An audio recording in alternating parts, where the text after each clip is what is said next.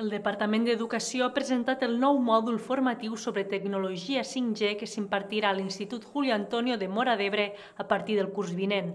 Aquest mòdul s'implementarà dins del cicle formatiu de grau mitjà de sistemes microinformàtics i xarxes. Tindrem un alumnat graduat amb un cicle formatiu de grau mitjà amb una especificitat que el faran únics, perquè encara no tenim implantació de 5G al currículum genèric arribarà, perquè tot arriba, però a, els estudiants del Julio Antonio ja sortiran amb, amb, aquest, amb aquesta especialització. El mòdul constarà de dues unitats formatives, una dedicada al hardware i a la preparació física de l'entorn i l'altra als servidors al núvol.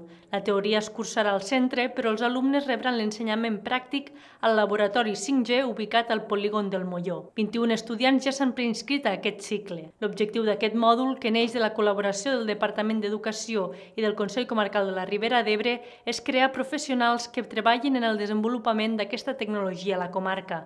Això no és un pas més, un grau més, sinó que és una cosa transversal i on pensem que hem de canviar el que és la dinamització econòmica de la nostra comarca a través d'aquesta nova, nova era 5G. Karim ha destacat que si la Ribera d'Ebre és pionera en tecnologia 5G a les zones rurals és gràcies a la feina del Departament d'Informàtica del Consell Comarcal que ha fet créixer la iniciativa i a l'equip de govern perquè ha vist aquesta tecnologia com una oportunitat de transformació per la comarca.